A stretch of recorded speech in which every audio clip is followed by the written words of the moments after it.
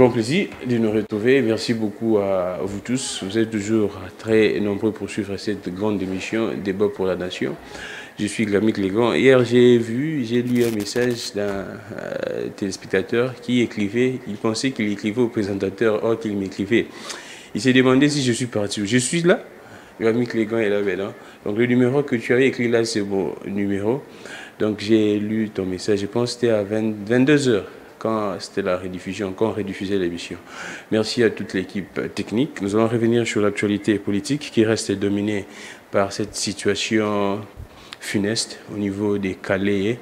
Plus de 400 morts, on tend vers 500 suite à une pluie violente la semaine dernière. C'est vrai qu'il y a une délégation du gouvernement mais également euh, une, si je pourrais dire, une inquiétude, une sidération de la part de la population, un tollé dans la toile, la façon dont on a enterré euh, nos compatriotes dans une fosse commune, ça fait tellement très mal.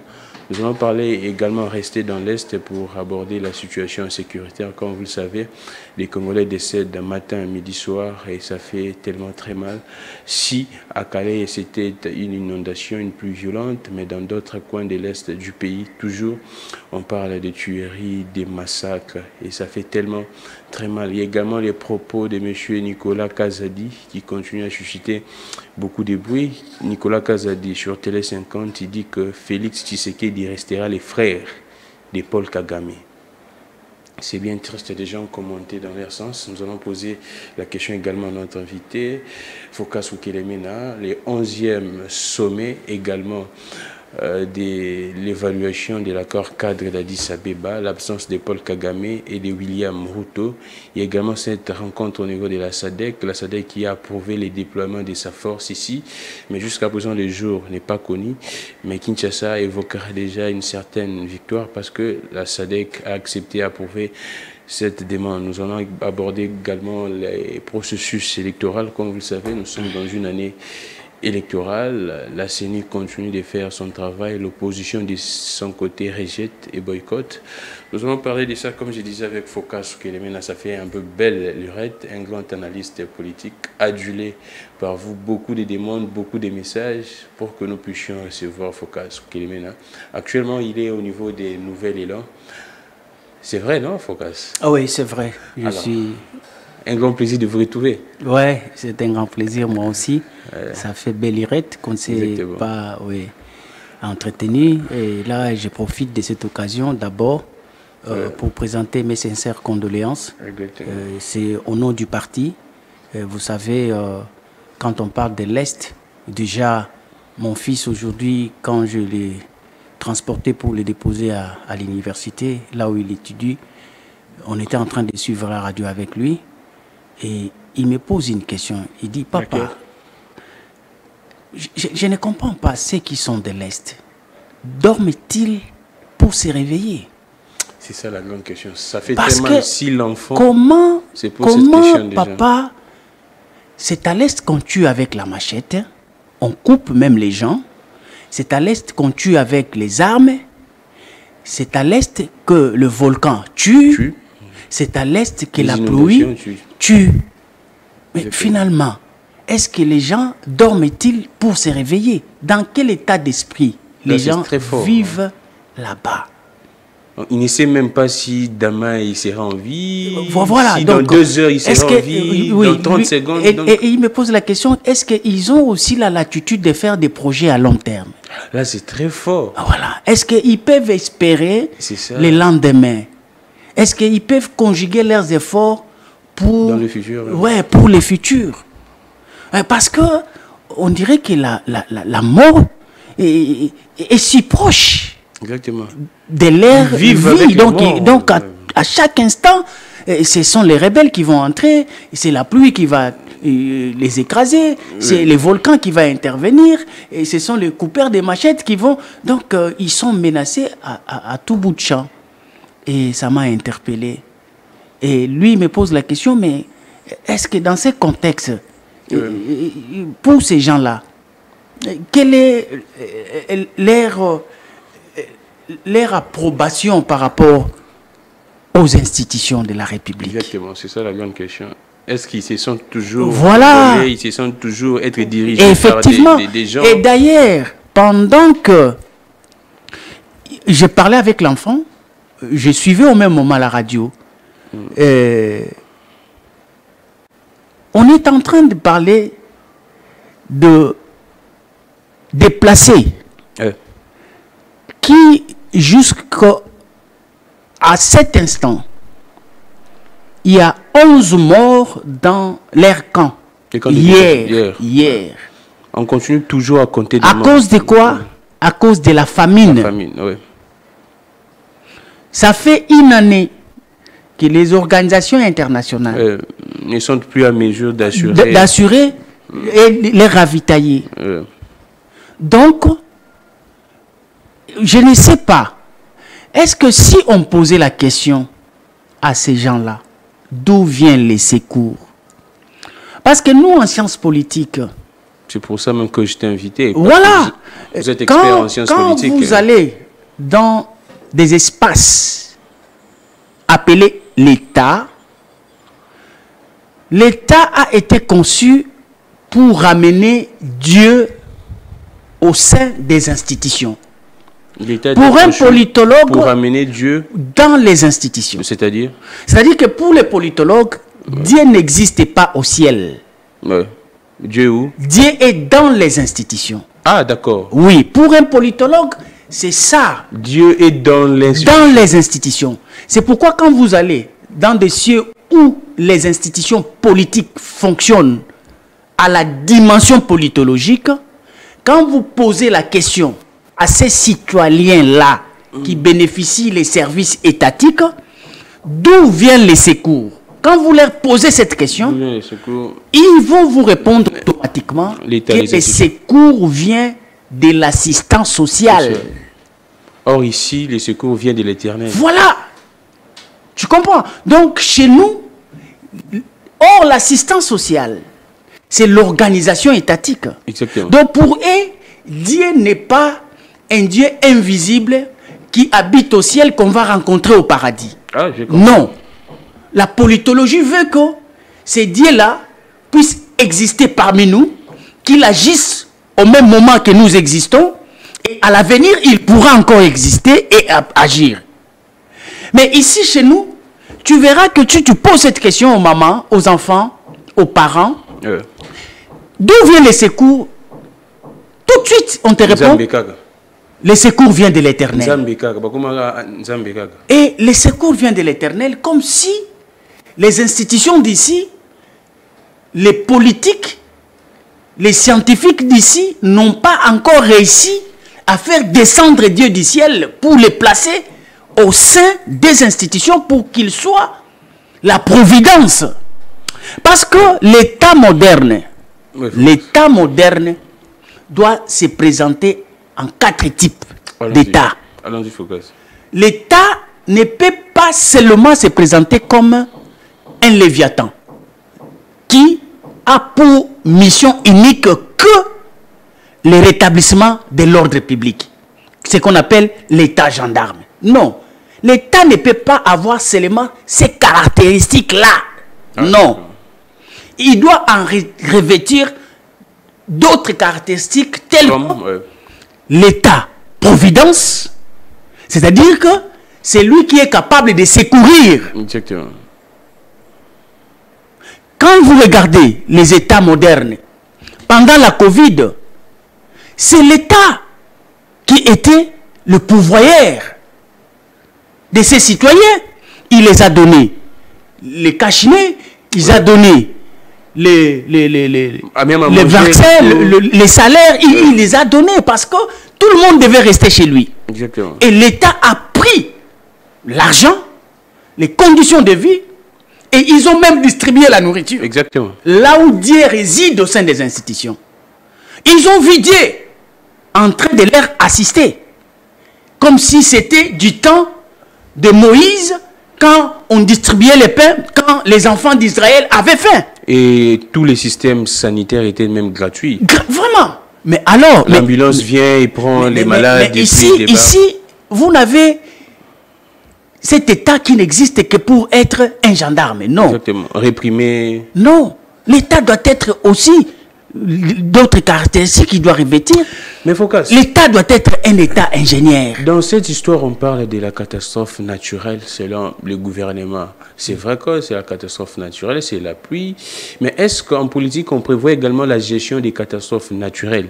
Ou c'est de la prévision des catastrophes naturelles Mais, mais ça, c'est la moindre des choses. Même à partir d'ici, quand vous suivez la météo de la France, on vous dit qu'il va pleuvoir et on vous donne même la quantité d'eau qui va tomber. Exactement, exactement. On vous dit l'air que, la pluie va commencer. Mm. On vous dit le vent qui va souffler. On vous dit l'orientation du vent, la puissance du vent qui va souffler. On vous dit tout ça. Exactement. C'est ça l'état qu'on appelle l'état ingénieur. L'état ingénieur doit exister. Parce que quand vous avez un état qui n'est pas capable d'être à même de pouvoir prédire les événements, les calculer, les maîtriser, parce que l'état ingénieur ici, c'est la donne scientifique. Parce que l'État doit nécessairement travailler pour porter un corps dit savant. Quand vous parlez ainsi, Focus, j'aimerais informer l'opinion que cette pluie a commencé au niveau du Rwanda avant le sud Kivu, la pluie également, cette pluie violente s'est abattue au niveau du Rwanda. Mais jusqu'à présent, au Rwanda, on décompte aucun mort. C'est ça, on appelle ça la pluviométrie. Là, je vous dis, on décompte aucun mort. La pluviométrie, c'est une science qui étudie la pluie. C'est-à-dire que quand on n'a pas un État ingénieur, quand on considère que les agents de l'État ne sont que ceux qui sont au niveau du Sénat et au niveau de l'Assemblée nationale, ainsi de suite, Là, on est à côté de la plaque. Et là, on doit nous, nous devons nous retrouver dans des situations pareilles. Et l'État doit avoir un corps scientifique. Les institutions scientifiques doivent être à la hauteur de pouvoir prédire, prévenir et, à la mesure du possible, intervenir. Mais si déjà vous n'existez pas, vous savez, euh, Aujourd'hui, un État qui ne s'adonne pas à la discipline du numérique, certainement cet État-là va disparaître. Ça va disparaître. Vous savez, moi, on est, on est vraiment en retard. On est en retard. Vous savez, Burkina Faso seulement ici. Burkina Faso, ils viennent de, de lancer leur satellite. Hein. Ouais, oui, j'ai vu ça. Ouais, ouais, ils ont lancé Burkina Faso, je vous dis. Mais ce qui est grave, euh, Focus, même pour sortir les morts dans les décombres, c'était pratiquement difficile. Il fallait des méthodes artisanales, des méthodes traditionnelles. Mais comment ils les ont enterrés? Ils les ont enterrés dans une fosse commune. Dans une fosse commune sans cercueil. Sans cercueil. Est-ce qu'il y a-t-il pas des bois là-bas? Même les bois de coffrage, il y en a pas. Dollars, mais, mais franchement. À 20 dollars, à 30 dollars. J'ai vu des calculs, donc si on pourrait enterrer toutes ces personnes-là, ça n'allait même pas coûter, je pense, plus de 10 000 dollars. Mais, mais, mais, quand, mais quand vous prenez l'argent qu'on dépense ici inutilement, franchement, ça fait pleurer. Hein? Mais qu'est-ce qui se passe au juste? C'est parce que... C'est la déliquescence de l'État, l'inexistence de l'État, l'inefficacité de l'État. Mais il y a des animateurs, Focus. Mais les animateurs pour autre chose, ils ne sont pas, dans la plupart des cas, c'est un groupe des oligarques qui nous, qui nous gouvernent. Ils ne sont pas venus pour résoudre les problèmes des citoyens. Mais quelle méchanceté là. Mais comment vous pouvez avoir... Je vous donne un exemple simple. Il y a des petits ici, par leur ingéniosité, dans le cadre d'un État savant, d'un État ingénieur, qui ne cessent de démontrer de quoi ils sont capables. L'un, j'ai vu, qui fait monter un appareil volant. Ouais. Il a créé et puis ça monte. Mais après, Il y en a de ceux qui, l'autre avait créé euh, une voiture qui, qui, pouvait se déplacer avec l'eau. L'eau, oui. Mais ces gens-là n'ont jamais été réussis à la présidence. Jamais.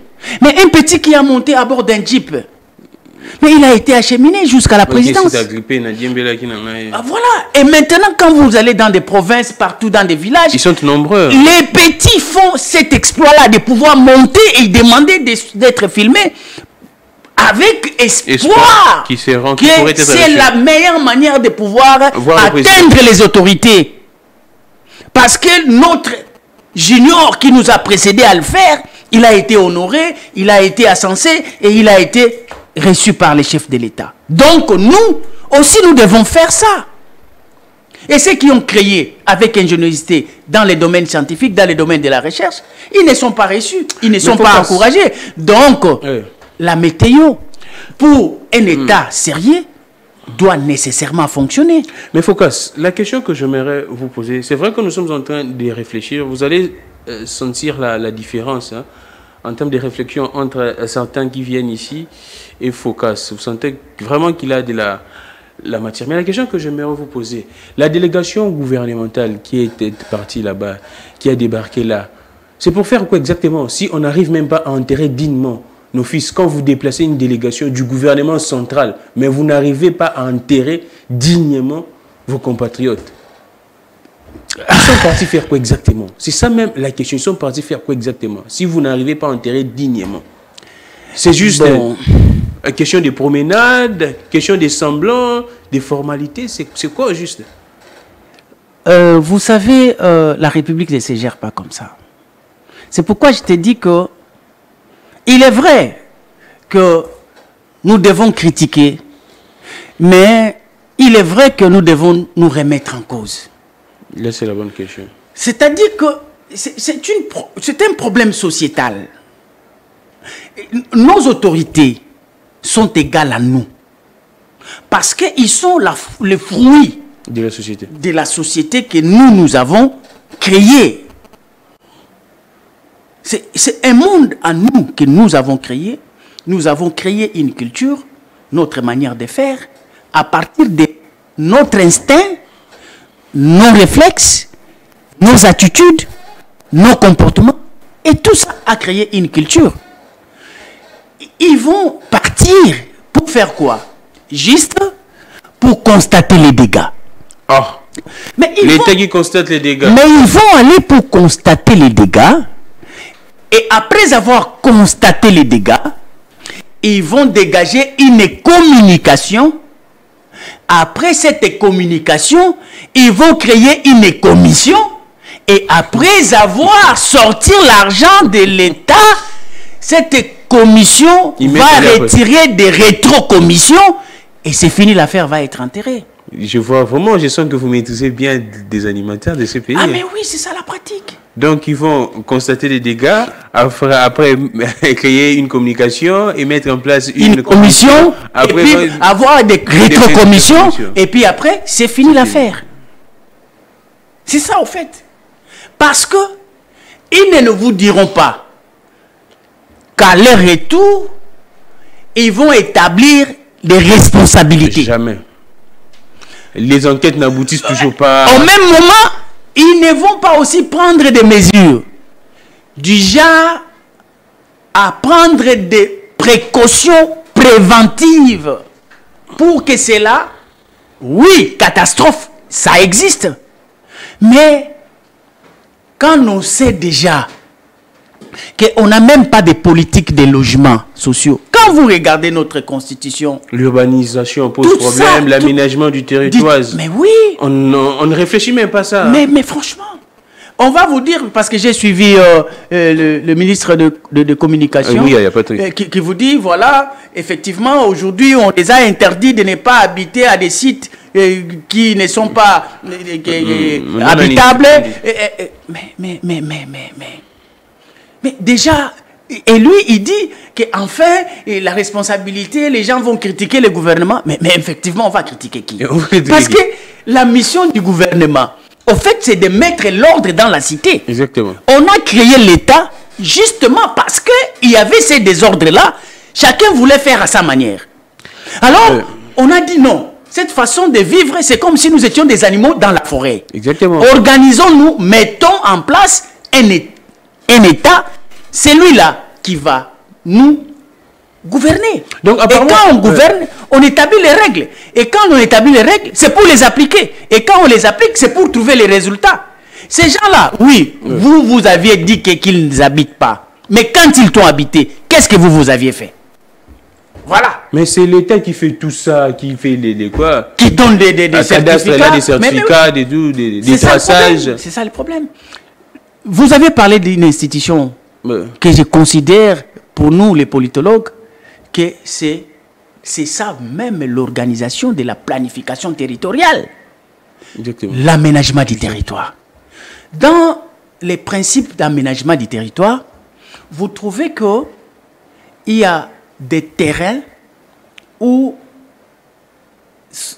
on ne paie en aucun cas, parce que ce sont des terrains à haut risque. OK? On ne peut pas se permettre. Et il y a des terrains qu'on appelle des terrains actifs, où on peut faire des cités, on peut faire des routes, et on peut vivre un environnement normal. Mais il y a des terrains de haut risque. Et là, on ne peut pas permettre un citoyen d'aller construire. Parce que si vous allez là-bas, c'est l'État au fait les responsables. Aujourd'hui, et ils ont construit, et la pluie est arrivée, on a constaté les dégâts, mais il y a une délégation qui est allée. Juste pour se rendre compte de ce qui s'est passé. Malheureusement. Voilà. Or, nécessairement, ces gens de pratiques, aujourd'hui d'ailleurs, vous allez trop loin. Vous allez trop loin là-bas. À Kinshasa, ici, où il y a l'institution président de la République, un gouverneur, le Sénat, et ainsi de suite, les députés sont ici, les députés nationaux. Mais est-ce qu'il n'y a pas de sites où ce sont des sites à haut risque, où les gens continuent à habiter jusqu'aujourd'hui? Ça existe. Ça existe. C'est ça l'efficacité de l'État. L'État nécessairement doit exister. Et l'existence de l'État, c'est mettre de l'ordre. Ici, je ne parle pas du régime. Je parle de l'État. Je ne suis pas en train de fustiger un régime, mais je suis en train de parler du principe. Ils doivent faire avec la règle, la norme, la doctrine. Tout a déjà été expliqué. Vous avez le ministère d'aménagement du territoire, quand vous regardez le fond de ce que l'on appelle aménagement du territoire, que les savants a donné pour gérer l'espace territorial, il vous ajoute les affaires foncières, il vous ajoute le, ministère d'urbanisme. Mais, déjà, tout est réglé. Il y a tous les outils. Hein. Vous avez les outils pour organiser la vie dans la cité. Mais on réfléchit On est très loin de là. Aujourd'hui, vous avez des personnels que vous appelez des acteurs politiques qui touchent l'argent au nom de ces ministères, mais qui ne travaillent pas selon les normes et les principes, les règles de ces ministères-là. Tu vois, c'est ça le vrai problème. Le problème, c'est que on n'a pas à créer la roue. Déjà, tout a été réfléchi par les savants. Ils ont déposé. Prenez seulement la notice, lisez et appliquez. Tout simplement. Il n'y a pas de la magie, mon frère. Quand vous allez en Europe, vous allez là où les pays sont vraiment réellement des États, vous trouvez qu'il y a des sites qui sont des sites qui sont vraiment nécessairement interdits à l'habitation. Voilà. Ça, on l'appelle. il y a également un urbaniste, malheureusement, qui n'est pas plus dans les télés, euh, Fiston Ilangi. Voilà. J'aurais appris qu'il qu'il serait actuellement au niveau de l'IGF, hmm. qu'il serait devenu parmi des gens qui qui devrait travailler dans ces projets de 145 territoires et il serait interdit de passer dans les télés pour expliquer ces genres de choses. Oh, c'est un expert. Oh, c'est vraiment un expert. Voilà. Et maintenant, il a laissé cette expertise-là pour aller faire autre chose. Pourquoi? Parce que dans son secteur, l'État ingénieur n'existe pas pour booster ce qu'il a comme matière. C'est pourquoi il s'est battu pendant des années. Tout le monde ira en politique tout le monde ira en politique parce que c'est le seul domaine qui paye. Et les scientifiques vont régresser, vont régresser. Mais c'est pourquoi je suis en train de demander quand même qu'il y ait une révolution des scientifiques sur les politiques. Parce que... Qu'il y ait une révolution des scientifiques sur, les politiques. Ça va se passer comment? Ah, mais parce que quand vous regardez... Mais ce sont pratiquement les mêmes politiques qui sont également des scientifiques. Hein? Non. Des professeurs des universités qui deviennent des politiques. Effectivement. Mais le problème ici, quand vous quittez le monde scientifique pour aller dans un monde politique, vous laissez les réflexes scientifiques. Exactement. Et vous, vous faites avec les réflexes politiques. C'est ça le problème. Parce que comment expliquer Les principes politiques doivent nécessairement obéir aux règles scientifiques. Mais quand vous regardez ce qui s'est fait en pratique, ça n'a rien à voir avec la science. Exactement. C'est pourquoi nous nous disons que ceux qui sont allés là-bas, ils ont abandonné leur science et ils font avec la politique. Mais si nécessairement ils pouvaient aller avec leur science là-bas, Mais vous sentirez qu'il y aura des démissions en cascade, il y aura des... Mais, oui Et cette révolution-là, on en a besoin. On est capable de dire, par exemple, un, un expert euh, sur l'urbanisme. il doit être à côté du ministère de l'urbanisme. Sa place n'est pas au niveau des chefs. Il n'y a, même pas des urbanistes font un plaidoyer depuis très longtemps. Mais il n'y a, pas des, des, urbanistes au niveau de ces ministères-là. Et vous allez trouver là-bas les membres des partis politiques. Les membres des partis politiques. Ah, mais, qu'est-ce que vous voulez Des juristes, des économistes. Mais, mais qu'est-ce que vous voulez Mais les résultats, vous n'en aurez pas. C'est tout un plaidoyer que ces gens-là font depuis très longtemps au ministère de l'urbanisme, c'est un ministère technique, mais il n'y a pas des urbanistes là-dedans. C'est ça les problèmes. Ici, nous avons du pétrole. Mais vous avez déjà fait combien des émissions avec un espèce en matière de pétrole? C'est terrible. C'est ça le problème. Donc, c'est-à-dire que les problèmes, mais vous recevez que de politique, que, des politiques. Comme si nous n'avions pas de pétrole ici. Comme si nous n'avons pas des experts en pétrole ici. Ils, existent. Voilà. Mais jamais vous verrez ici, sur votre plateau, un, un débat sur notre pétrole entre des experts. Des experts du pétrole ça n'existait pas. Donc, c'est-à-dire que le monde politique évolue sans la science. Or, la gestion de la République a besoin de l'apport scientifique pour émerger. Alors, Sinon, ça sera ce que l'on appelle les désordres, la cacophonie, essai-erreur, tâtonnement et c'est la médiocrité. Alors, Focus, on évolue. Il y a beaucoup euh, de matières à traiter avec vous mm. parce qu'on doit également voir votre expertise. On parle de ces 11e sommets, on reste à l'Est, 11e sommet de l'évaluation de l'accord cadre d'Addis Abeba. C'était déroulé à Bujumbura. Votre lecture étant que politologue, Kagame, concerné dans cette histoire, ne vient pas. Mm. William Ruto, le président kenyan qui pilote la force régionale ici, pour résoudre ces problèmes de l'Est brille également par son absence. Malgré la présence d'Antonio Guterres, le secrétaire général des Nations Unies. Kinshasa tête là, les présidents, comme toujours, il accuse les Rwandais. C'est vrai que nous tous, le monde entier est au courant. Mais après ça, c'est vrai que le secrétaire général des Nations Unies lance un message, un appel pour interdire aux pays membres de soutenir les groupes armés. Mais après, on ne voit plus rien on ne sanctionne ni Kagame, ni Ruto, et pourtant ils ont brillé par leur absence. Aussi longtemps, ces sommets-là les concernent également. En politique, en, politique, vous étant qu'expert en sciences politiques, déjà dans les, dans, dans les relations internationales, c'est là où il faut tirer la réflexion. Nous sommes dans une configuration de la région. Et dans la région, nous sommes dans un espace où les acteurs sont des États. C'est-à-dire que chaque État devient un acteur. Un acteur. Donc, l'attitude que tu vois, si nous sommes à l'interne, tu verras de l'autre côté, vous verrez un acteur comme Félix, président de la République, et vous verrez un autre acteur comme Moïse Katumbi, vous verrez un autre acteur comme Fayoulou, vous verrez un autre acteur comme Bemba, ainsi de suite. Et Mozito et tout le monde. Et chaque acteur ici, à l'interne, a ses calculs et ses intérêts pour conquérir le pouvoir, l'exercer plus longtemps que possible. De la même manière, les acteurs internes ont leur projet de société, ont leur vision. Les États maintenant au niveau international deviennent les acteurs, comme s'ils étaient des individus au niveau interne au niveau international, ces États-là deviennent des personnes morales qui agissent. Donc, chaque acteur, il vient avec un calcul. Et quel calcul? Pour l'intérêt de son État, pas de votre État. Là, c'est clair. On doit là, c'est clair. clair. On ne doit pas s'élever se voler des faces. Mais c'est lui qui ne vient pas dans un sommet. C'est-à-dire que il trouve moins d'intérêt pour les comptes de son État. Ah, d'accord. Donc c'est ça l'expression. Mais c'est ça l'expression. Dans les relations. Dans, dans, dans, ok, c'est-à-dire quoi? Je reprends. C'est-à-dire que dans les dans les dans l'espace international, chaque président de la République qui est en exercice, il prête serment à son entrée, il prête serment pour les uns sur la Bible, le Coran et consorts, pour, pour jurer que lui, il prête serment pour assumer des responsabilités pour les comptes de la République.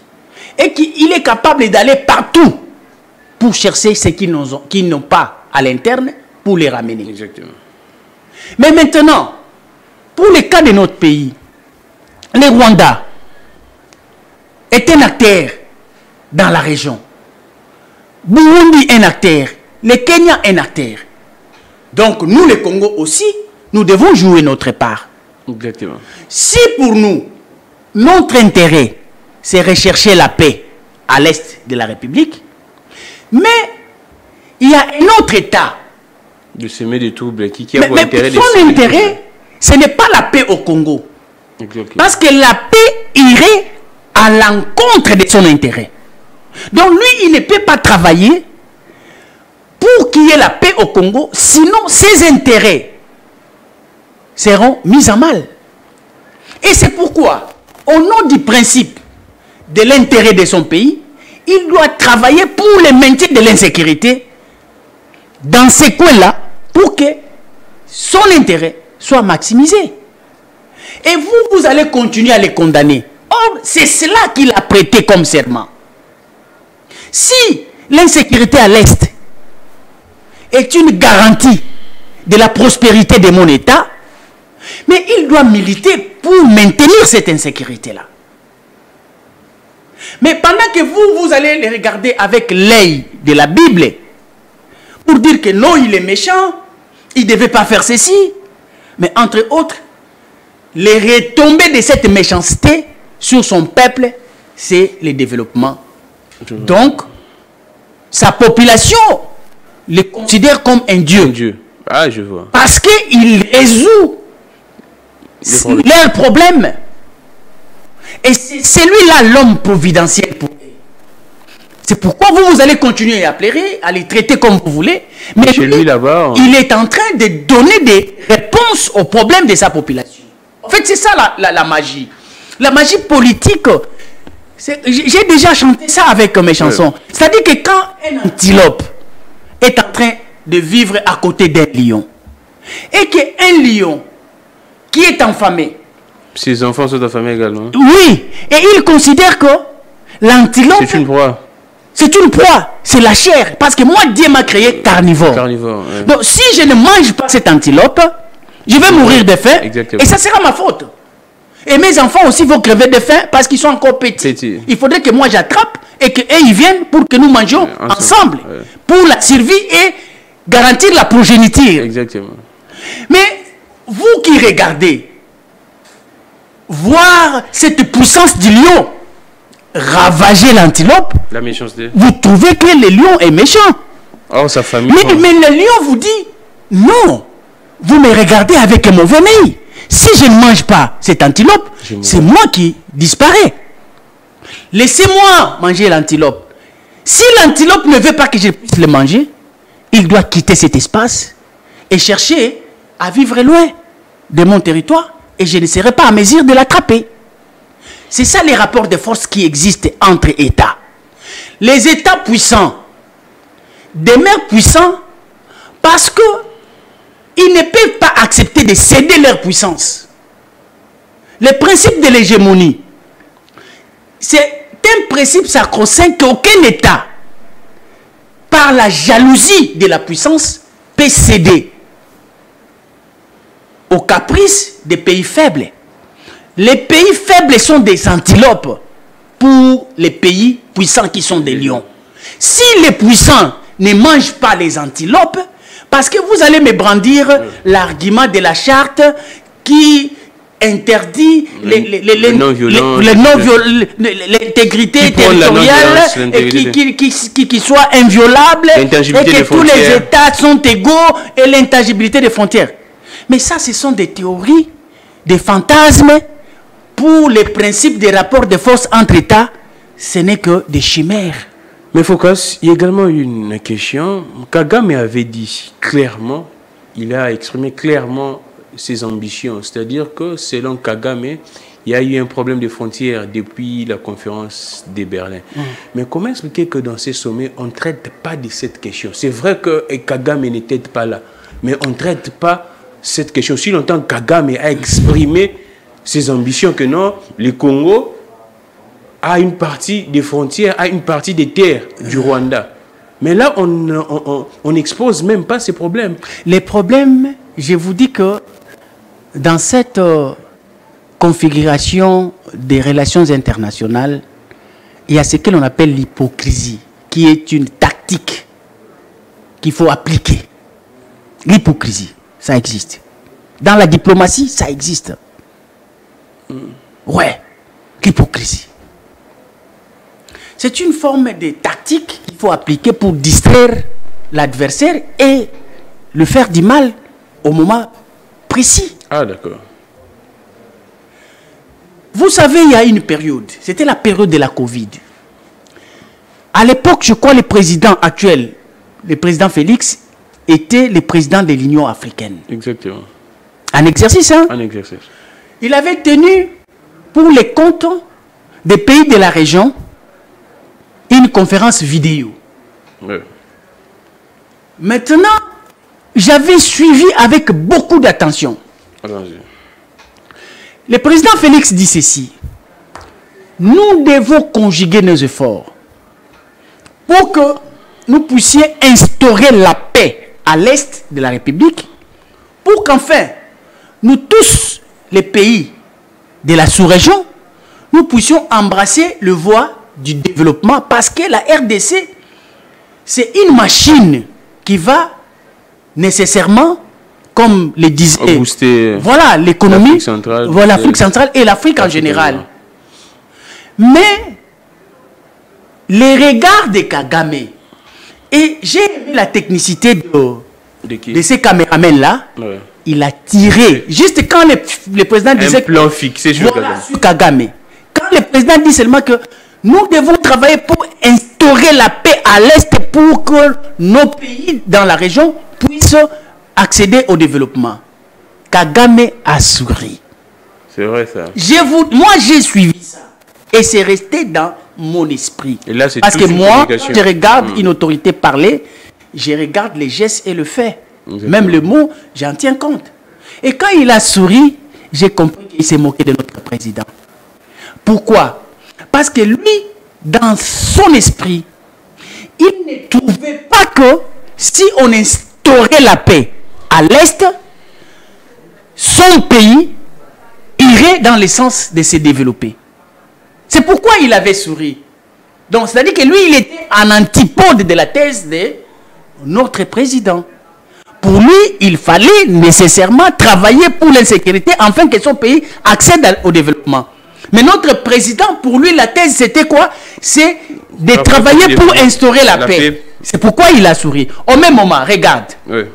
Pendant que Kagame tient les discours de territoire rwandais qui serait dans notre, euh, pays. Et dans notre pays depuis euh, la conférence de Berlin, la répartition a, a fait que aujourd'hui, il réclame ces terres-là.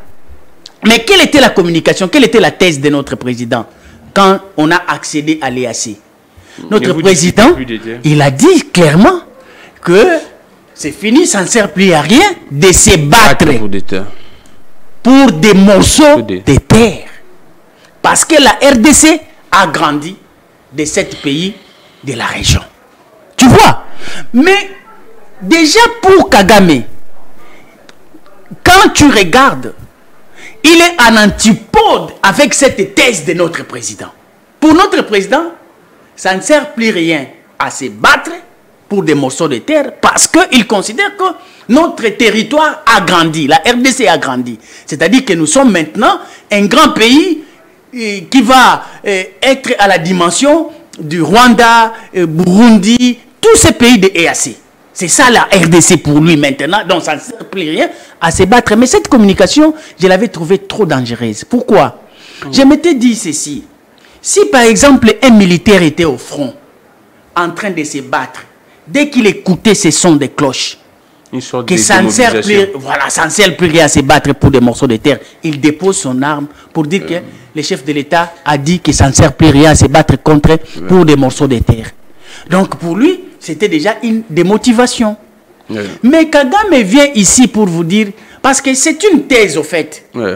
Ce que le chef de l'État avait dégagé, c'est une thèse qu'on peut aussi développer dans les relations internationales, qu'on appelle la globalisation ou bien l'ouverture, la mondialisation.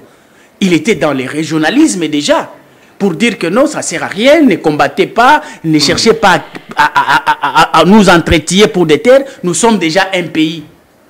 Lui, il était déjà dans l'ouverture.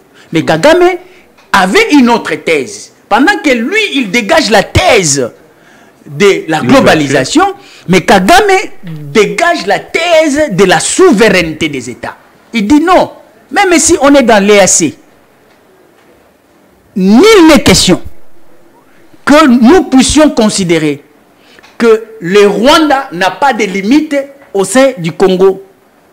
Nous, nous voulons que nous puissions revenir sur ces débats, afin que nous puissions tracer des limites, que le Rwanda, dans sa souveraineté, ait ses limites territoriales connues. Donc là, déjà, on sent l'hypocrisie au niveau de l'EAC. Il y, a, il y a déjà une lutte. Un de- complot même. Il y a une lutte de thèses. Des thèses. Notre président a une thèse et, Et Kagame a l'antithèse. Ils n'ont pas. D'ailleurs, je ne sais pas pourquoi ils disent que ce sont des amis. Parce qu'à chaque fois, ils évoluent avec des visions différentes. Quand vous suivez Ouais. les propos de Kagame, Ouais. Kagame a toujours été en antipode de notre président. Exactement. Et notre président, tout ce qu'il dégage comme thèse, a toujours été des thèses en antipode avec Kagame. Et mais je me suis toujours posé la question, mais pourquoi ils se disent qu'ils sont amis? Ils sont amis pourquoi? Ils sont amis pourquoi? D'accord, euh, Focus Kukelemena, merci beaucoup, nous évoluons. J'aimerais également poser la question, mais on prend, on prend ces, ces propos de Nicolas Kazadi qui a déclaré sur Télé 50 que Félix Tshisekedi, et tout peut arriver, mais Félix Tshi- Tshisekedi restera ami à Non, Paul Kagame. je viens de le démontrer ici, que ce sont des personnalités qui n'ont pas la même vision. Est-ce c'est une erreur de communication ou bien nos autorités Non, je ne sais pas, ils, ils- ils- ils soutiennent ça en fonction de quoi? Parce que des personnes ne peuvent pas faire route ensemble s'ils n'ont pas la même vision. C'est ça l'amitié aussi. En tout cas, il n'a pas Kagame- explicité, il a dit ça seulement. des- Ka- Kagame n'a pas la vision qu'a Félix. Kagame a toujours eu une vision en antipode avec euh, la vision de Félix. Je peux démontrer toutes les communications. Exactement. Parce que Félix, vous savez, il a parlé du génocide du Congo. Mais quelle était la réaction de Kagame quand il devait parler du génocide du Congo? Un négationniste. Voilà, il a dit non, c'est c'est- tu sais, c'est c'est du fiction. Donc il a toujours été à l'antipode. Ils n'ont pas la même vision. Ils n'ont pas le même, euh, euh, les mêmes, les mêmes euh, réflexes. Alors, Donc. Kagame ne peut en aucun cas être. D'ailleurs, quand le chef de l'État l'appelle rétrograde, c'est-à-dire que c'est quelqu'un qui, qui, qui n'est pas de sa génération en termes de, de comportement, des attitudes, des réflexes. Mais comment ils seront amis Alors- Kagame se présente aujourd'hui comme Hitler. Il ne peut pas être ami d'un démocrate. Euh, Focus Voilà, en non quoi ils seront amis Et c'est pourquoi je dis ceci. Je me dis ceci. Pour la question de l'Est, les gens qui aiment bien mes chansons, j'ai déjà donné la réponse. Vous voulez être en paix Préparez la monture. Cette monture, c'est quoi pour un État? La chanson dit qui veut aller loin, prépare sa monture. C'est simple, non? Qui veut la paix prépare la guerre. Et préparer la guerre signifie préparer une économie forte pour construire une armée Mais le forte. président n'est pas dans cette logique. Il a dit au Comores, je pense que non, la guerre coûterait cher. Il n'est pas dans cette, cette logique. C'est une thèse. C'est une thèse. Je ne sais pas s'il faut appeler ça la thèse pacifique, lui qui pacifiste ou quoi. Mais la thèse politologique, ce n'est pas ça. Alors, Ça, c'est- peut-être c'est une thèse de, de, de, de- confession religieuse. On Tu vois? Ça, Ouais. c'est une thèse, on peut accepter ça quand on est dans le contexte des confessions religieuses. hein, la paix, quand quelqu'un te donne euh, un coup à droite, donnez-lui encore euh, le temps de vous gifler encore à gauche. Et, ça, c'est avec la, les confessions religieuses, ça peut marcher. Mais en politique, les États doivent se respecter. On ne se respecte que quand on a la puissance du feu. Et la puissance du feu, c'est une armée forte. Il faudrait que nous puissions... D'ailleurs, nous, au niveau du parti, nous avons déjà dit ça. Exactement. Travaillons. Effectivement, nous pouvons faire ce que l'on appelle la ruse. La ruse consiste aussi à distraire l'adversaire. Nous pouvons distraire notre adversaire avec euh, des conciliables qui vont être des dilatoires, juste pour nous permettre le temps de pouvoir réformer notre armée. Parce que nous sommes dans une configuration où notre armée, même si on a des armes sophistiquées, il est difficile de gagner la guerre. nous, devons les, nous devons exfiltrer ceux qui nous ont été comme des infiltrés, afin de pouvoir donner les moyens qu'il faut. Et nous faisons la guerre et nous serons respectés. Les Rwandais vont reculer. Focus. Qu'avec, je dis bien, avec seulement la puissance du feu. Pas avec euh, les sommets. Non. Avec les sommets, personne ne gagne et personne ne triomphe. C'est ça avec la guerre, avec, avec les, les, les sommets. Les, sommets, ça, ça n'apporte rien. Parce qu'il faut concéder. Il faut concéder. Personne n'a gagné. Donc, alors, arrangeons-nous à l'amiable. Un arrangement en africain.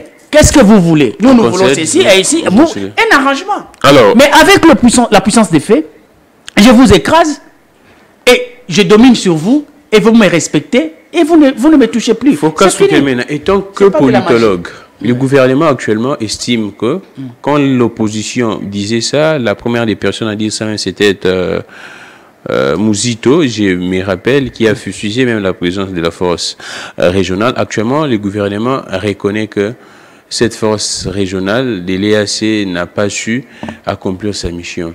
Là, maintenant, le gouvernement tourne du côté de la force de la SADEC. Le gouvernement a soumis sa demande. Euh, la SADEC est d'accord, mais la SADEC n'a pas encore euh, communiqué sur les moments. Mais comment est-ce que vous pourriez analyser ça étant que politologue? Histoire... L'effet de passer d'une force à une autre, ça pourrait constituer une solution? Mais déjà, moi, je vous dis, la solution durable, ce n'est pas ça. Ah, d'accord. On ne peut pas faire sous-traiter la sécurité d'un État. L'État est protégé par ses armées. Point barre. Mais, dans des cas pareils, c'est comme le corps humain. Tu vois, le corps humain était organisé comme l'armée d'un État. Vous avez dans le corps humain ce que l'on appelle les globules blancs, qui sont une armée. Et vous avez les anticorps qui sont la police, les patrouilleurs. Dès que le corps humain est atteint quelque part par une menace, de n'importe quel genre, ce sont les patrouilleurs, ce sont les anticorps qui sont la police qui vont détecter cette menace. Dès que la police détecte la menace, on informe les cerveaux. L'anticorps informe les cerveaux pour dire il y a une menace ici. Nous avons tenté, nous comme la police, de maîtriser la menace, mais ça n'a pas marché. Cette menace a de la vigueur. Envoyez-nous l'armée qu'il faut. Parce que l'armée est constituée de bataillons. Et maintenant, le cerveau va poser la question aux patrouilleurs de quelle menace dont il s'agit? Les anticorps veulent répondre avec précision pour dire que non, nous sommes menacés ici par des virus. Parce que le corps humain a plusieurs sortes de, de menaces. Le corps humain peut être menacé par des virus, par des champignons, par des parasites. Toutes sortes de menaces, pour le corps humain, c'est une menace. Et chaque menace a une riposte.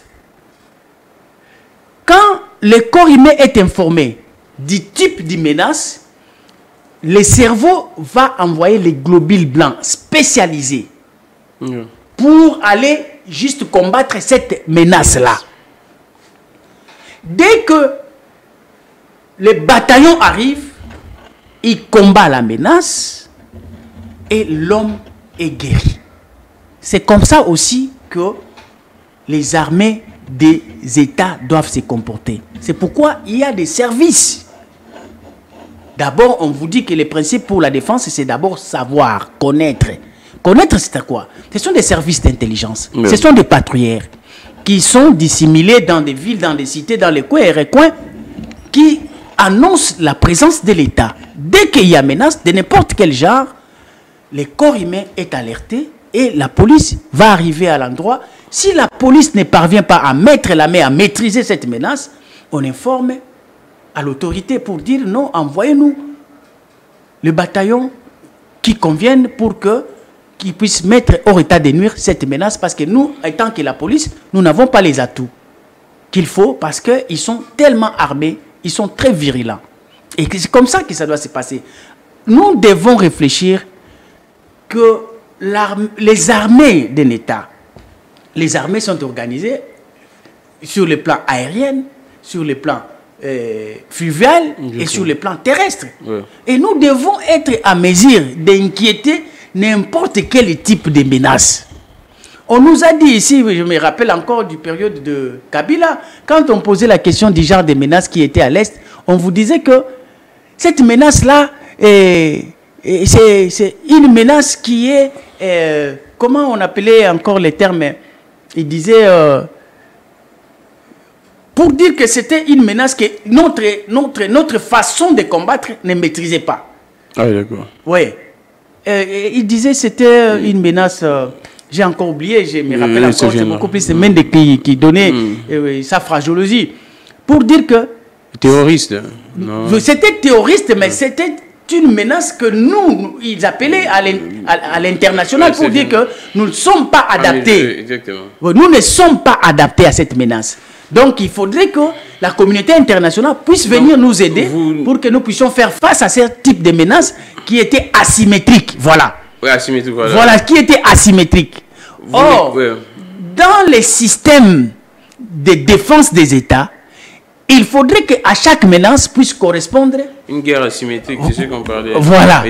Voilà. Quand c'est une guerre asymétrique, vous devez avoir une armée qui a la maîtrise de ces genres.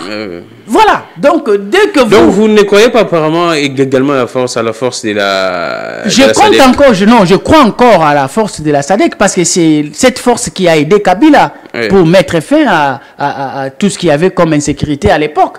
C'est la SADEC. Mais regardez, pourquoi les choix maintenant de l'EAC C'est pourquoi je vous ai dit que quand vous n'avez pas de scientifiques dans la gouvernance, vous serez nécessairement dans l'étatonnement. Pourquoi je parle des scientifiques? Parce que l'État a toujours été gouverné aussi par des approches historiques. Or, c'est l'histoire qui est aussi une discipline, qui est aussi une science qui doit vous renseigner. Si Félix savait, parce qu'aujourd'hui, s'il si, si rabat encore à la SADEC, c'est parce qu'il a ignoré une partie de l'histoire. Que la SADEC a déjà été sur terrain face à cette genre de menaces et que nous avions triomphé mais il n'allait pas aller. Voilà. Donc, c'est-à-dire que chaque secteur vital d'un État a une discipline correspondante pour sa survie. Et c'est scientifique. Il faut toujours, toujours faire avec la science pour gouverner une cité. C'est pourquoi, moi, je conseille que les principes établis, ce sont des principes à appliquer. On ne vous demande plus de créer la roue. Vous appliquez seulement.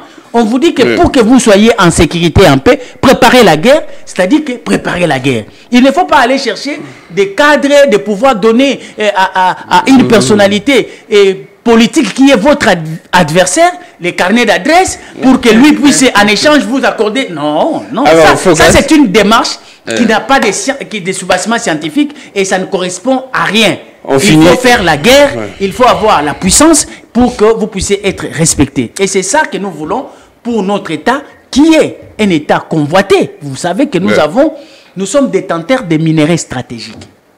Comme nous sommes détenteurs des minéraux stratégiques, tous les États du monde, d'ailleurs les puissants, ne peuvent pas en aucun cas accepter un jour que un pays faible demeure le détenteur des minéraux stratégiques. Dans sa faiblesse, il risquerait de changer l'ordre mondial. Ah, donc, parce qu'aujourd'hui, la crainte, parce que vous savez que le monde aujourd'hui n'est pas monopolaire. en termes de puissance. Il y a l'émergence de beaucoup de puissances et que maintenant les très puissants ils pensent que si nous laissons la RDC tranquille, ils peuvent collaborer avec ceux qui sont en train des pays d'émergence, les BRICS et consorts, pour venir nous concurrencier. Donc nous devons empêcher leur explosion à partir de la RDC. Donc il faut étouffer leur action à partir de la RDC pour que ces gens-là ne puissent pas avoir le contrôle des minéraux stratégiques. Demain, on a combattu la RDC, on a exploité la RDC à cause du caoutchouc et de, et, de l'EVA. Ça a évolué. Après, on a combattu pour euh, l'or et les diamants. Aujourd'hui, c'est les lithium et les coltans. Demain, ça sera l'eau et la forêt. Et puis, euh, vous savez, nous sommes menacés à tout bout de champ parce que tout ce que nous avons, nous l'avons hérité. Et ces gens-là sont conscients que nous n'avons mis aucun effort de notre part pour être les détenteurs de tout ce que nous avons comme richesse.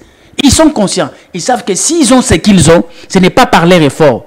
C'est Dieu qui, les a, qui, qui, a déposé tous ces minéraux-là quelque part et que par l'amour de Dieu, ces gens-là se retrouvent sur cette surface-là. Donc ce sont des biens de Dieu que nous, nous devons aller prendre parce que Dieu a créé ça pour l'humanité. Et ils ne considèrent pas que c'est un hmm. État qu'il faut respecter, mais c'est à nous de nous imposer maintenant comme un État. Nous devons nous imposer comme un État. Si nous ne nous imposons pas comme un État, nous serons dans la logique de l'impérialiste qui considère que l'État congolais, c'est un espace libre pour la circulation des puissants, c'est pour l'exploitation des puissants et, et, et ça ne sera en aucun cas un État souverain qui risquerait de pouvoir mettre à mal l'évolution de leurs projets machiavéliques, de pouvoir continuer à émerger et de nous garder encore dans la faiblesse qui nécessairement qui est en train de déranger et nous devenons encore plus pauvres avec des potentiels que l'Éternel nous a accordés. Si c'était le cas pour d'autres pays aujourd'hui, nous serions déjà trop loin, trop loin, à l'instar de la Malaisie, de l'Indonésie, du Canada. Nous étions au même standing avec ces pays-là. À l'indépendance, déjà, nous étions à, l'instar de, ces pays que je cite ici, l'Afrique du Sud, tous ces pays-là, des BRICS aujourd'hui, nous avions les mêmes standings de, l'économie. Mais nous avons beaucoup régressé. C'est justement parce qu'on n'a pas eu les réflexes des, des, hommes scientifiques qui devaient voir les choses de loin et puis faire des calculs pour qu'enfin l'avenir puisse être meilleur. Ah d'accord. Qu'à ce hein, on prend... Euh, on finit avec le processus électoral. C'est vrai que là, je dois lire ces messages. Bonjour, mon très cher frère. Quand l'État oublie son devoir avec l'ignorance de nos dirigeants, qui oublie les rôles, vraiment, c'est qui oublie les rôles, vraiment, c'est la souffrance. Au Congo, Patrick Mouya s'est contredit de son devoir vraiment déplorable pour Congo, mon pays. Alors, Focas, on prend euh, le processus électoral. Comment est-ce que vous êtes en train de voir? C'est vrai que l'opposition, j'ai suivi Adolphe Mouzito sur France 24 qui dit clairement qu'on tend petit à petit vers les glissements. Il ne voit pas, surtout avec euh, euh, la CENI qui n'a pas enrôlé quatre territoires. Il a dit également ses problèmes euh, de financement. Vous, personnellement d'abord, étant que politologue, comment vous réfléchissez sur ces processus électoraux À l'instant, nécessairement, nous devions passer au nettoyage. Hein du fichier, électoral. Jusqu'à présent, la CENI a lancé l'appel pour euh, après les refus de l'OIF. Vous savez déjà, c'est un élément majeur hein, qui démontre qu'il n'y a pas du sérieux. Pourquoi? Parce que l'OIF a étudié pour voir que le processus, parce qu'ils ont argumenté dans le sens du délai. Tu vois? C'est-à-dire qu'ils trouvent que ce n'est pas sérieux. Les temps disposés pour faire cet exercice du nettoyage du fichier n'est pas un temps qui nécessite vraiment du sérieux pour faire les choses bien. C'est pourquoi l'OIF, une organisation sérieuse d'observation, a jugé inopportun de pouvoir tendre sa main. C'est déjà l'alerte maximale qu'aujourd'hui, avec cette CENI, nous n'aurons pas les élections. Parce que quand l'OIF vous dit qu'il y a un problème de délai qui pose problème pour cette opération, déjà, il faut s'inquiéter. Parce que après cette opération, il faut la loi sur la répartition des, sièges. On est au mois de mai. Presque, on est. La fin de la session. Hein. presque oui, parce que le mois prochain. Juin. juin, le 15. Tu vois? Mais est-ce que déjà ils ont commencé l'opération? Parce que si cette opération ne se tient pas, le Parlement ira déjà en vacances. Tu vois Ça, c'est un élément majeur. Et quand le Parlement va revenir, ça sera la session budgétaire. Donc tout ça, et d'ailleurs, ça sera au mois de, décembre. Et pourtant, les élections sont prévues au mois de décembre. C'est ça les calculs qu'il faut faire. C'est pourquoi nous nous disons que nous sentons venir un glissement, mais un glissement voulu aussi.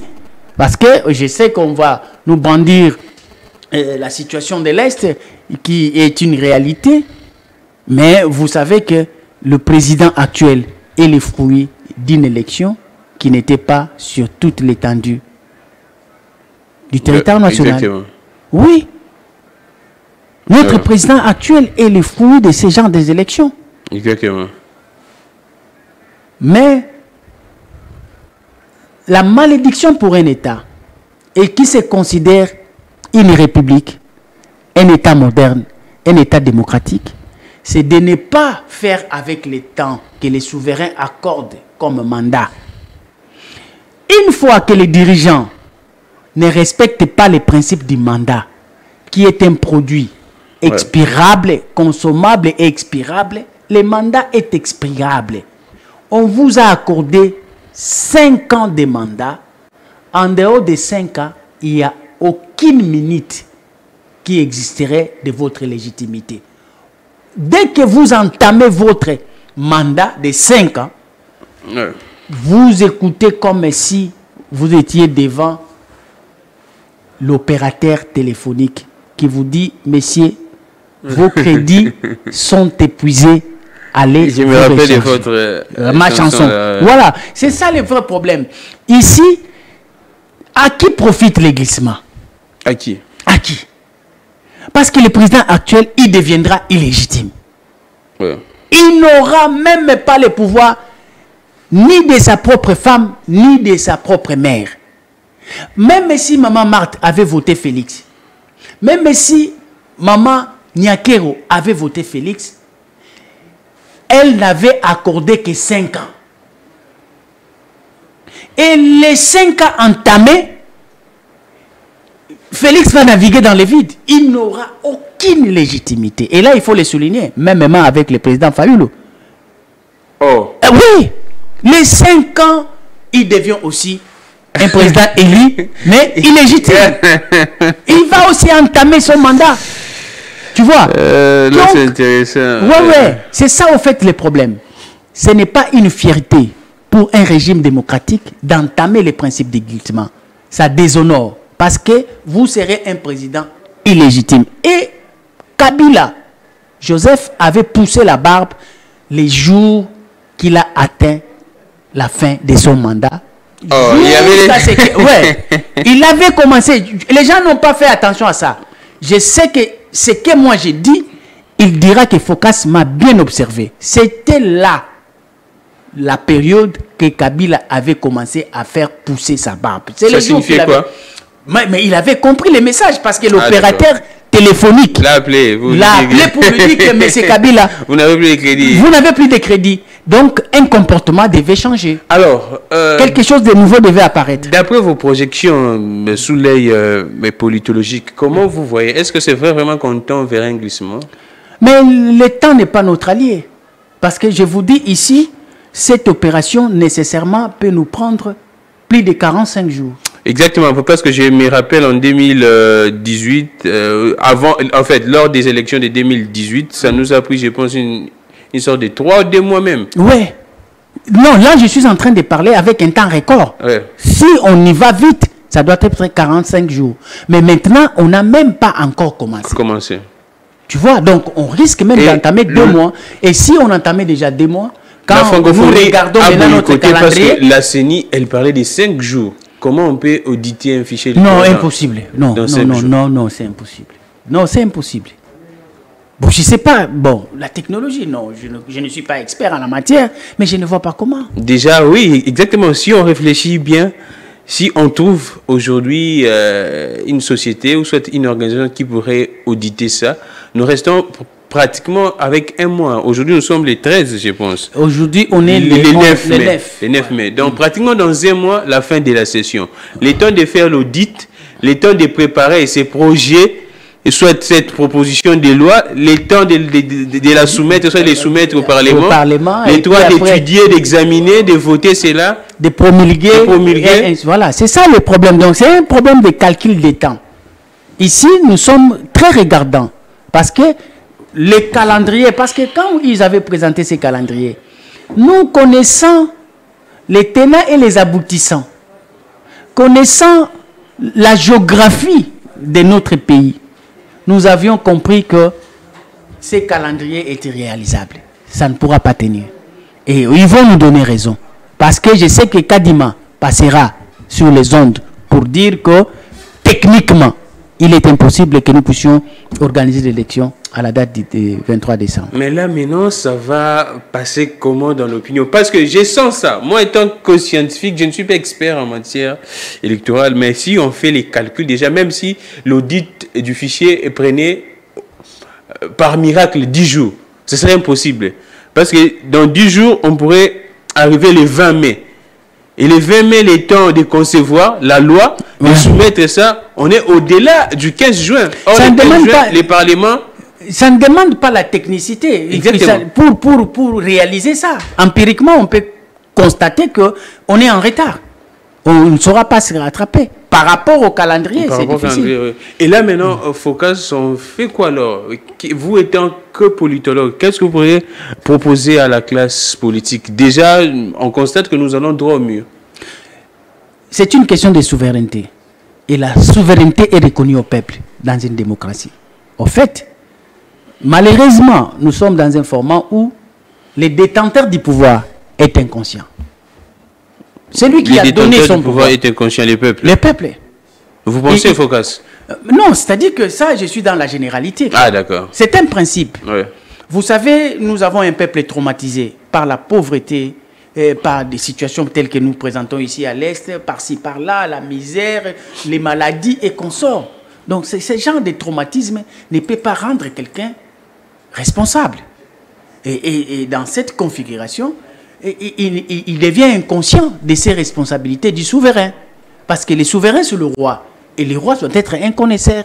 Mais quand vous êtes dans une configuration où le peuple en question est constitué de 75% des analphabètes. Or, quand on est analphabète, on est ignorant. Et quand on est ignorant, on n'est pas un vrai roi. Les vrais rois, les vrais rois se trouveraient ailleurs. Et maintenant, dans cette configuration, le problème, c'est que les souverains qui doivent décider. C'est pourquoi tu as vu, dans la Constitution démocratiquement, on a prévu les articles tels que l'article 63 et l'article 64. C'est pour que l'on puisse ramener la décision aux souverains vis-à-vis des dirigeants.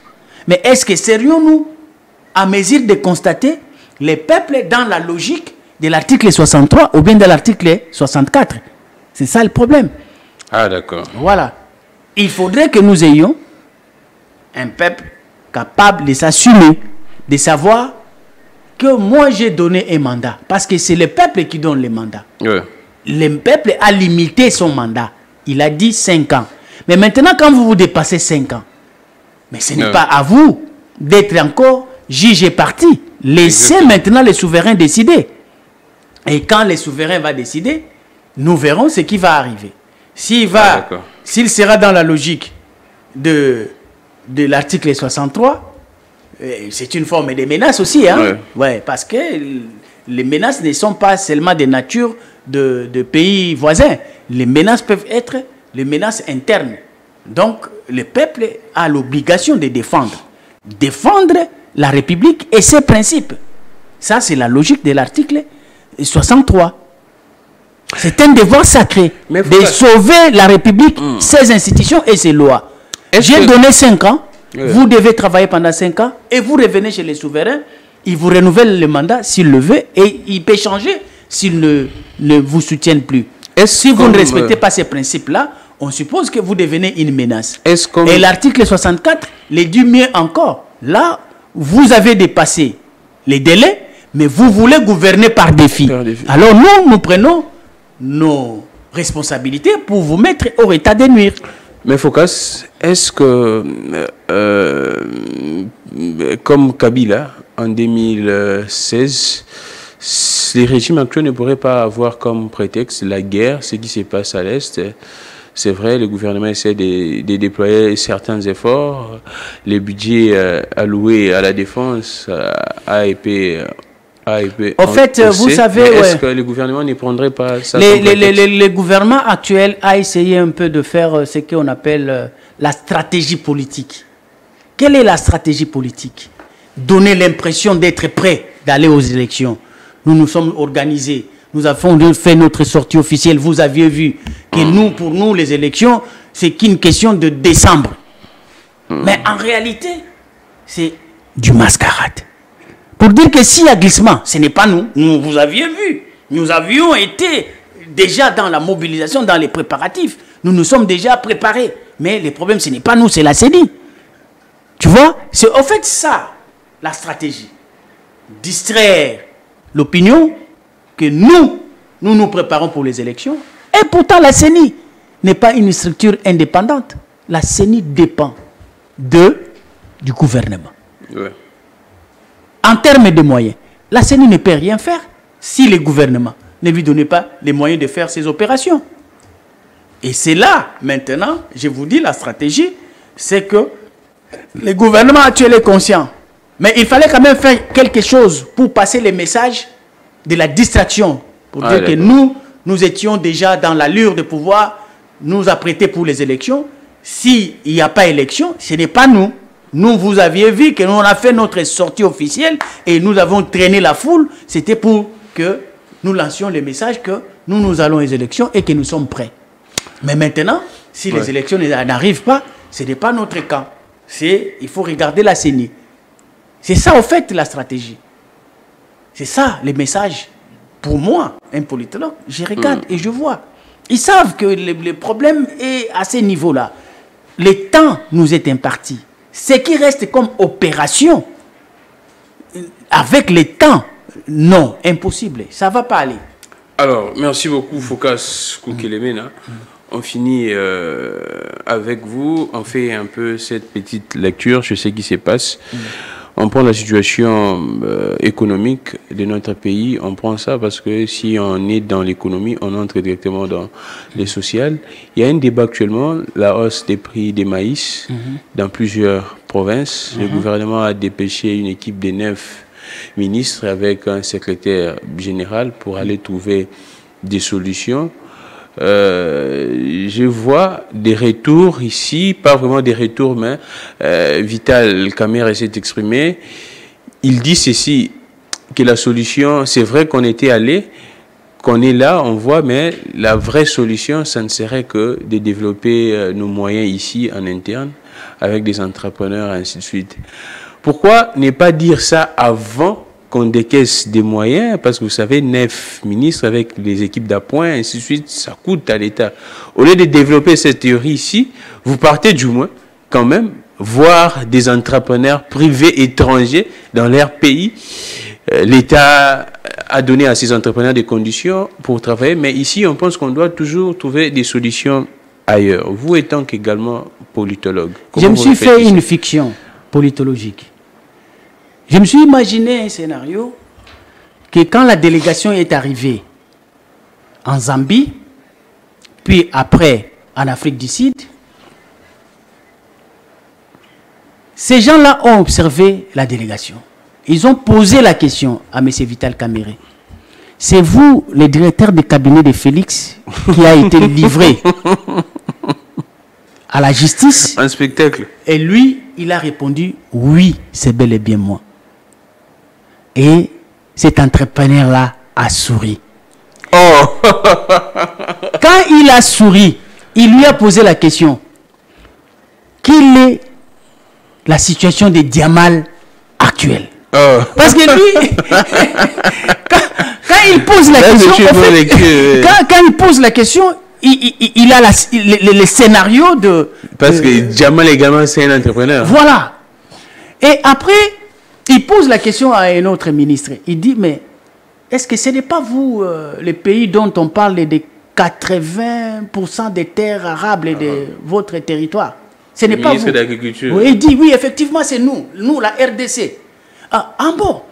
Mais, est-ce que ce n'est pas vous, les pays dont on est en train de parler, pays solution? Ce n'est pas vous. Il dit oui, c'est nous, notre ministre de l'Environnement, vous n'avez hmm. pas suivi. C'est nous, les pays solution. Ah, mais vous, les pays solution, vous, faites, vous êtes venus ici pour, pour donner la solution, la solution. ou bien pour chercher la solution. Parce que vous êtes censé être la solution pour d'autres États. Oui, mais, mais, ça fait très mal. Hein. Vous êtes censé être la solution pour d'autres États, n'est-ce pas? Mais vous êtes venu chercher la solution ici. Vous, vous êtes un état solution ou vous ne l'êtes pas?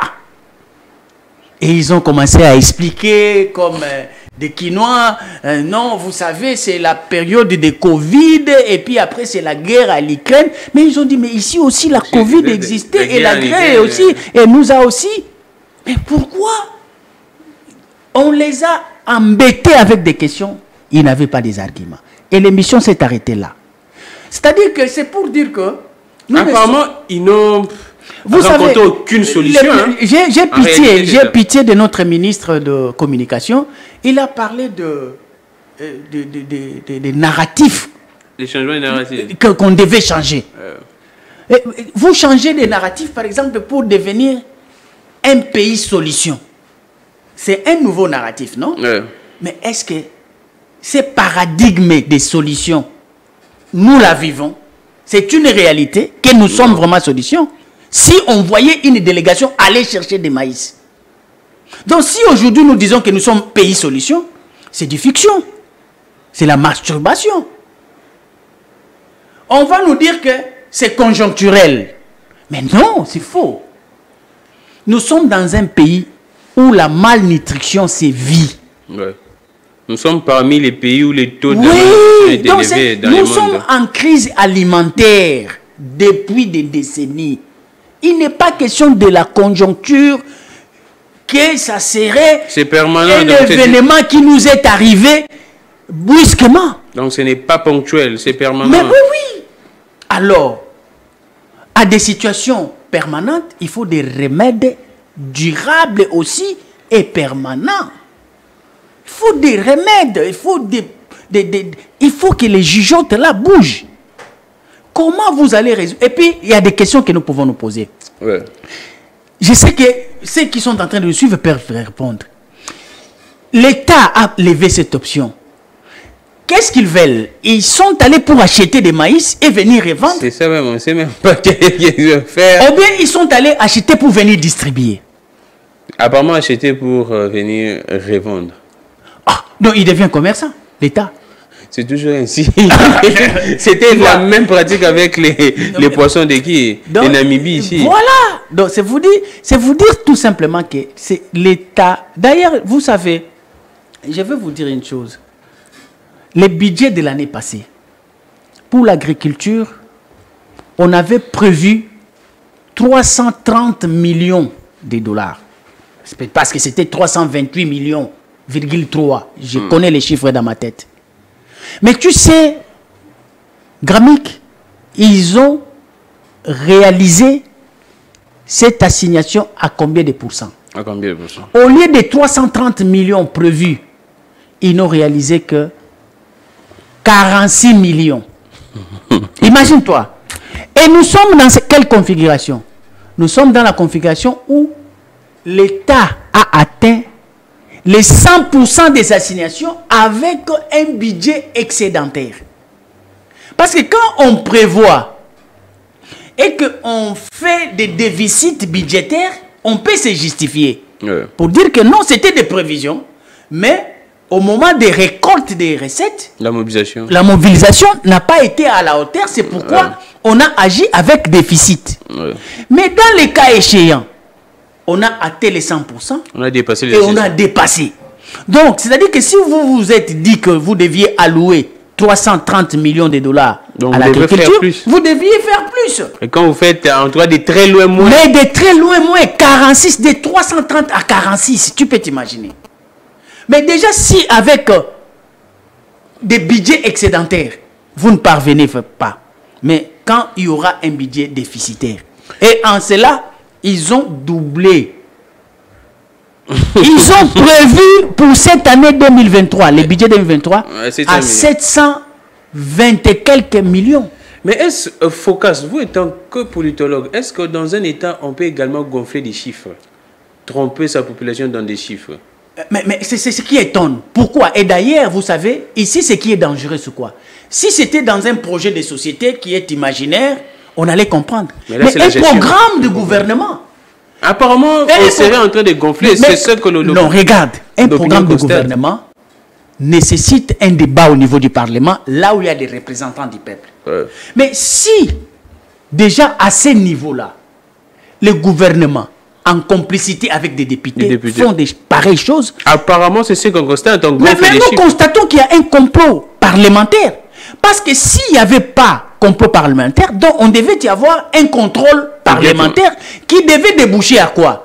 À nous démontrer que comment est-ce que nous, autorités budgétaires, avons alloué 330 millions presque avec des assignations claires dans les domaines agricoles.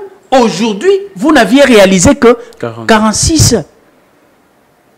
Non, des ententes des populations. Et nous qui sommes représentants, nous ne pouvons pas vous laisser tranquille. Venez vous justifier ici. Mais on n'a pas vu ça. C'est-à-dire qu'ils sont dans les formats d'un complot, complot parlementaire. Et ce sont des oligarques, ce sont des coopérants qui sont au sommet de l'État, qui sont en train de frapper. Et, ils n'ont pas, ils n'ont pas, ils n'ont pas, ils n'ont pas pitié. leur problème, c'est maximiser leurs poches et puis faire les affaires comme euh, ils étaient dans l'omerta Là, on tue en silence, on vole en silence et on arrête personne. Même si on amenait quelqu'un auprès du juge, ce juge-là est aussi dans l'omerta, le complot continue.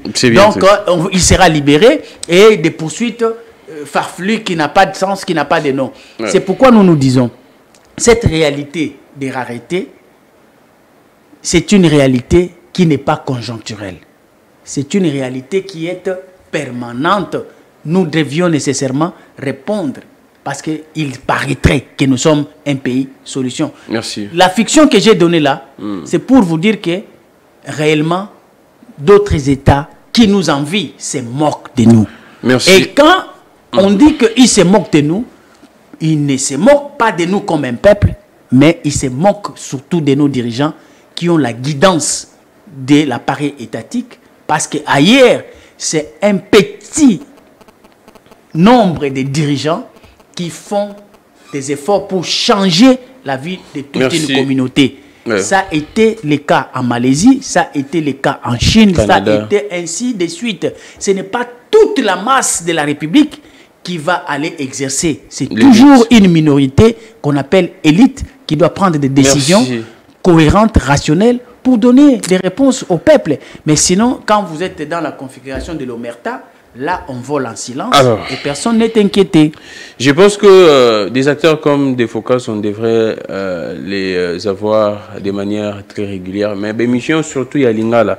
Pour le peuple, c'est mingi, avec des faussetés, avec des, des, histoires à dormir debout. Il faut pas expliquer comment comprendre des mots et tambola. Mon frère, faut comprendre. Hein? je, vais faire une comparaison. Hein. Vous savez, la France a une population de 68 millions d'habitants la RDC a autour de 125 millions d'habitants. Donc nous sommes les doubles de la, France. Bon, je vous amène maintenant dans une logique. Vous comprendrez que la politique française sur l'agriculture, aujourd'hui, pour l'ère budget actuel, l'année passée, quand nous étions en train de réaliser 46 millions hmm. pour des projets agricoles pour nourrir 125 millions, hmm la France était à 5 milliards de dollars. en termes de milliards. Mais l'année 2023, la France, son budget sur le domaine agricole est de 6 milliards. Et nous, on est à moins de 5% de notre budget national. Avec toutes les richesses. Avec le nombre de populations que nous avons, la France est la moitié en termes de population de ce que nous avons. Voilà, démographiquement. Mais vous regardez ce qu'on est en train de donner pour l'agriculture, ça dépasse trop loin ce qu'on donne pour 120 millions d'habitants. Et, Moutandis, Moutandis, nous sommes en train d'évoluer en 2030. Déjà, nous sommes à 120 l'État est capable de planifier. nous serons dans 250 millions d'habitants. 250. C'est là où maintenant, on va laisser les chiens, on va commencer à nous manger entre nous. Merci beaucoup. Parce qu'il n'y aura pas de nourriture, il n'y aura pas de... Parce qu'il n'y a pas de planification. C'est bien très triste. Hein, comment je vois ce genre de choses. La France. Mais les Kenyans, à côté ici, c'est les premiers producteurs de maïs en Afrique, septième au monde les Kenyans. Moi, j'ai. Vous avez la Zambie. La Zambie a le même sol que nous ici au sud. La Zambie. Mais il, nous ravitaille à maïs. Est-ce que c'est parce que nous, chez nous, le sol a refusé de pousser du maïs? Manque de sérieux. Mais quand vous regardez la litanie qu'il y a dans le programme de gouvernement de 2023 défendu, présenté auprès de l'hémicycle là où il y a des représentants du peuple, vous trouvez qu'ils ont tout prévu. Qu'il fallait construire des parcs agro-industriels, ils n'ont rien fait. des routes, des terres agricoles, ils n'ont rien fait. Et c'est pourquoi il ne faut pas dire que c'est conjoncturel, mais plutôt c'est voulu.